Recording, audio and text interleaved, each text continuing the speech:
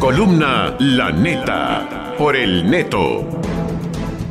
Alegando falta de presupuesto y recorte al gasto, la Conaculta acudió al centro comunitario del kilómetro 29, el que antes manejaba el padre Manríquez, para quitarle a los niños de la banda los instrumentos musicales que ya les habían dado en comodato y que no hace mucho presumieran su entrega. Si los instrumentos ya se habían pagado y los niños los usaban en aquello que llaman programas de recomposición social, ahora qué harán para pasar el tiempo o para practicar si ya no los tienen.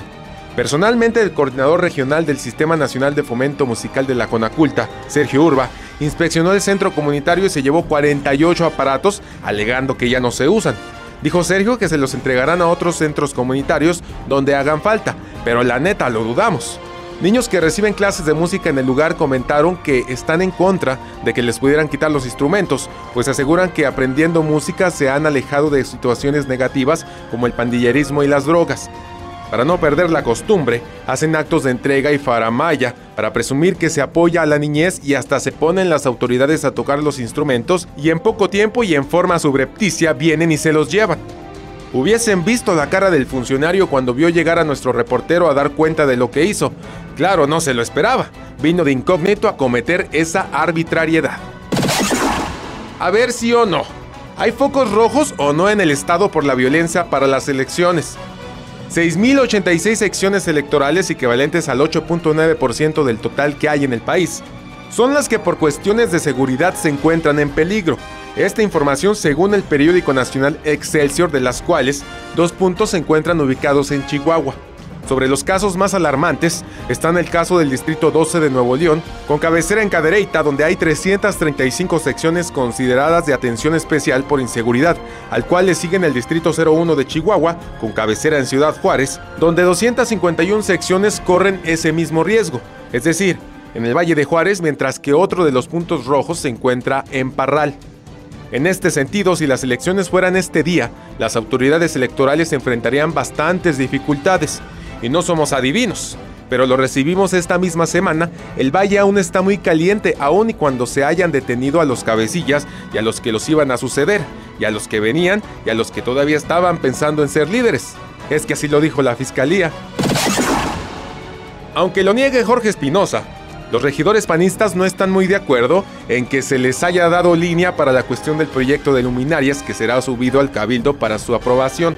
Jorge y Sergio no cuidaron las formas y la discusión que sostuvieron sobre el particular se escuchó en los módulos de los demás regidores en otras fracciones.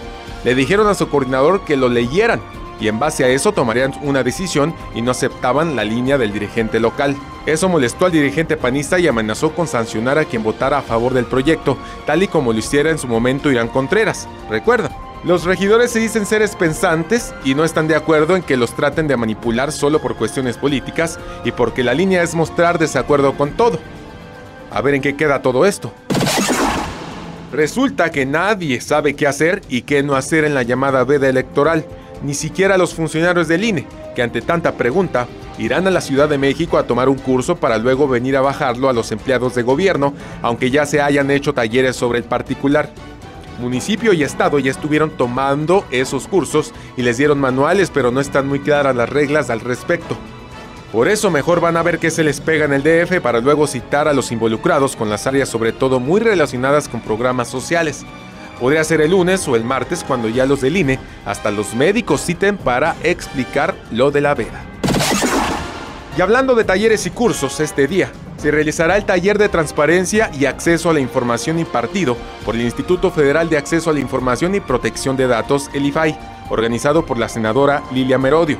El taller será impartido en el Centro Cultural Paso del Norte, en el Teatro Experimental Octavio Trías, de 8.30 de la mañana a 1 de la tarde, el cual será totalmente gratuito y abierto al público en general haciendo hincapié a todas aquellas personas que se dediquen a trabajar con la información como en el caso de los periodistas. Ahí nos vemos.